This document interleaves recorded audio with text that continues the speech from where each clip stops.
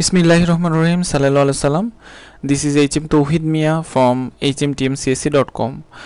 Uh, today let me show you how to add a git source dependency into your Gradle project. In this case, uh, why it need be because of sometimes we have to add some of uh, source repository into our project. So uh, it's very necessary if you uh, working on a multi-project system or your project has some of uh, source dependency from other project then this tutorial will be helpful for you uh, if you work on a multi-project then you know that uh, if if you want to any source code source project into our system then we have to add some of code in our uh, settings.gradle after that we have to add that uh, dependency into our uh, build.gradle now let me show you. In this case uh, let's say that this is our actual project. We have to add uh, this uh, this java common project as a dependency. So what uh, will be the regular process. If if if i uh, do this manually then i have to clone this project and add this project into here as a project source. But i am not going to do this. I am going to using uh, grgit plugin for uh, Gradle and uh, for automatic uh, done this project for our project setup. Okay let me let me copy some of code from here.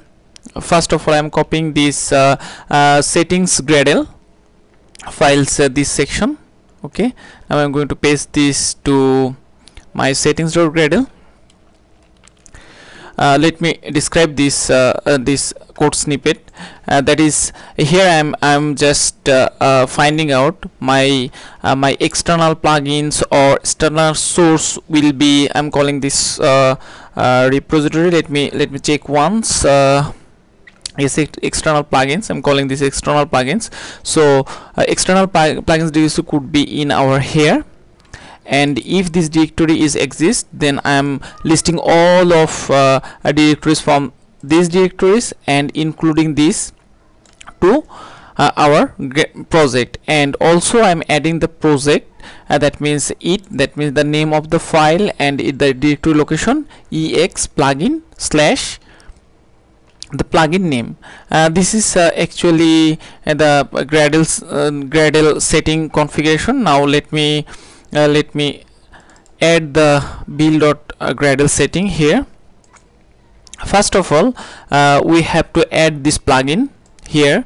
Otherwise it will not work. I'm here using the uh, grgit if you want then you can visit this link. This is the official link of gr grgit uh, i'm adding this to my project copying this plugin and pasting here. Already i added uh, here i'm adding again. Okay let me do the next task that is uh, i am creating a list of git repository. In my case i'm adding this here here you are seeing uh, actually this is the Grails map. Uh, sorry a Gradle map. Here the map key that means I'm uh, just uh, saying the name of that project and this is the project URL which will be uh, if uh, if you go here or your repository then you will get this link and I'm calling this project by this name. That's why my map name is Java common. The repository is this. Now this is the list of repository I will list here. uh, when I uh, when I need it in uh, next cases then then I'm going to add a Gradle task. If you uh, are not sure about Gradle task then you can uh, search to Google or in my future video I will uh, talk about uh, Gradle task. I'm copying this one. Okay. Now I'm going to paste here. You're seeing it it it it it has uh, it has some codes. Let me uh, uh, describe this codes. In first cases actually I am doing this task as a last and this map I'm iterating with each. The first is name. This is the name and the second is URL uh, so uh, I am uh, just setting the destination. This is my destination. Okay after that I am just calling that grgit library clone directory name is this and the url is this. So it will automatically clone my project into this directory by this name. Okay? If i run this uh, action then it will be automatically clone here. Uh, let me do a some other configuration because uh, uh if we add anything in our project then we will able to uh, add those projects into our dependency. So let me add the dependency codes here. This is the dependency code. I'm going to paste here. In these cases uh, when uh, when any any of uh, a project which will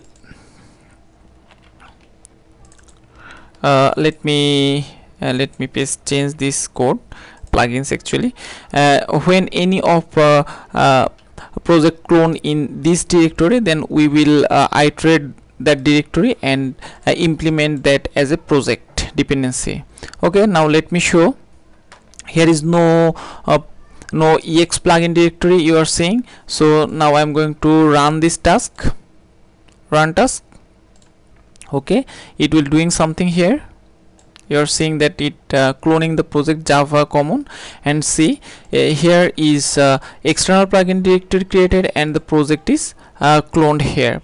So now if i uh, synchronize this project then it will be uh, added as our dependency. For that i'm just clicking on this synchronize button. Now you're seeing the directory icon is changed. So if you want then we can use that functionality to our project. In this case I'm going to just use the uh, tmutil in this case I'm going to here. First thing tm now you're seeing that it uh, already uh, suggesting some of method of tmutil tmutil dot is debug equals to true. And now I, I will going to print a message tmutil dot print. Bismillah. Okay now i'm going to run this project.